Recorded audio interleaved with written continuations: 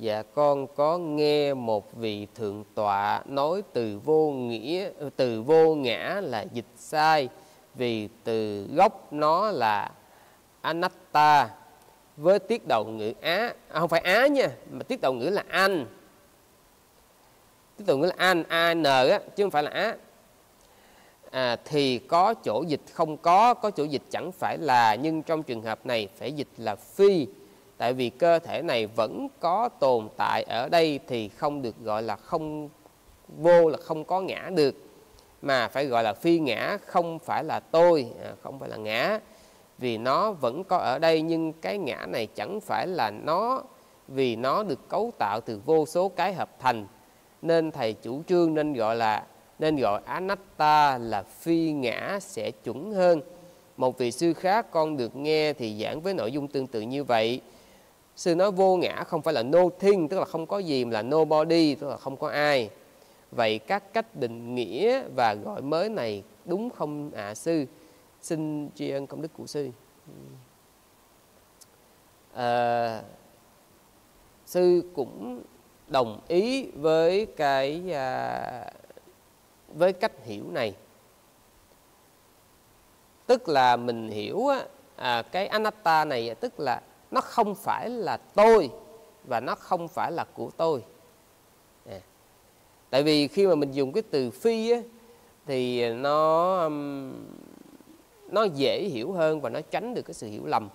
À, cái cái vấn đề là mình bị ảnh hưởng bởi cái văn hóa Trung Hoa à, cho nên là mình à, khó mà có cái từ nào mà mình diễn tả cho nó, nó sát nghĩa hơn thế nữa chúng ta có tam tướng là tướng vô thường tướng khổ và tướng vô ngã.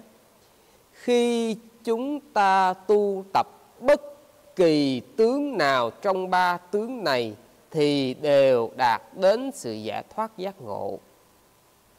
Tùy theo cái uh, cái căn tánh của mình. Có người á, phù hợp với việc quán vô thường và được giải thoát. Có vị phù hợp quán tướng khổ mà được giải thoát. Có vị phù hợp quán tướng vô ngã được giải thoát. Cái vấn đề là khi một số vị đã quá chú trọng một cách thái quá đối với tướng vô ngã và làm cho nó trở nên quá phức và khiến cho người ta nhìn vào Phật giáo là chỉ nói cái chữ vô ngã thôi. Và chính nó làm cho cái chuyện nó phức tạp ra. Trong khi đó, có những vị á, anh chỉ cần anh nhìn cái tướng vô thường là đủ rồi. Anh chỉ cần anh nhìn thấy tướng khổ là đủ rồi. Hoặc những chỉ có một số vị nhìn được tướng vô ngã, thì vị đó quán tướng vô ngã, thì như vậy nó ok hết. Còn anh cứ đè đầu, ai cũng đầu quán vô ngã hết. Trong khi đó người ta cái khả năng của họ họ rất là khó. Giống như cái người mà uh, què chân mà mình mình bắt họ thi uh, chạy marathon vậy đó. Thì nó không có nên. À, trong khi đó cái cái cái nó không nên là gì? Khi mà mình quá chú trọng vào cái tướng vô ngã đó thì mình làm nhẹ tầm quan trọng của tướng vô thường và tướng khổ từ đó đó mình đi tới cái gì mình thấy cái tướng vô ngã là nó cao nhất. Còn cái tướng vô thường cái tướng khổ là nó nằm ở phía thấp hơn cái đó nó sai ba anh này có vị trí ngang bằng nhau mà chỉ cần anh tập trung anh hiểu được một trong ba anh này là anh ổn. À, cho nên á, là cẩn trọng cái chuyện là chúng ta quá tập trung vào tướng vô ngã trong khi á, mình không phù hợp với nó dẫn đến là mình bối rối mình khó hiểu rồi từ đó là mình tu không được. À, thậm chí là hiểu sai và dẫn tới tà kiến nữa.